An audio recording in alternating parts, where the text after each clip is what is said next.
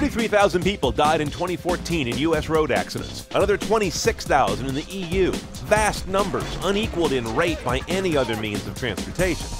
So the main selling point for self-driving cars early on has been dramatic reduction in accidents. However, in their first million or so miles of real-world testing on public roads, they've yet to stake a claim to that hope. A new study by Michael Sivak and Brandon Schoettle at the University of Michigan Transportation Research Institute looked at the data from the early self drivers fielded by Google, Audi, and Delphi.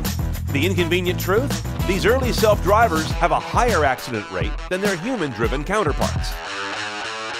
Here are three more nuanced takeaways, however, for the smarter driver. First of all, the accidents that self driving cars are involved in tend to be minor. And let's face it, we've got to get over this sci fi ideal that self driving cars will never crash and embrace the reality that they will crash less often and with less severity.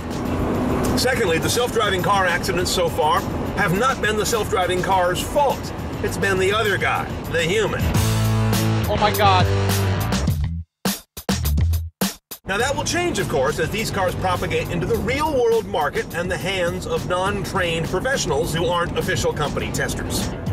And thirdly, the miles driven so far by self-driving cars are under optimal conditions. The current state of cars that rely on sensors around the vehicle to see and read every situation really can't hack it in heavy snow or hail or even a wicked thunderstorm. Sivak and Schoettle at University of Michigan also point out there are probably some awkward teenage years ahead when the earliest commercial self-driving cars will be basically surrounded and outnumbered by human-driven cars. They with their hard logic, we with our fuzzy logic, is going to make for some unpredictable results. Bottom line, as we get these early indications of the efficacy of self-driving cars toward reducing accidents, it pays to double check the reality of what the goal is. Complete accident reduction or merely a dramatic improvement in fatalities, at least in some situations. More realities of modern driving revealed now at cnetoncars.com. Click on Smarter Driver.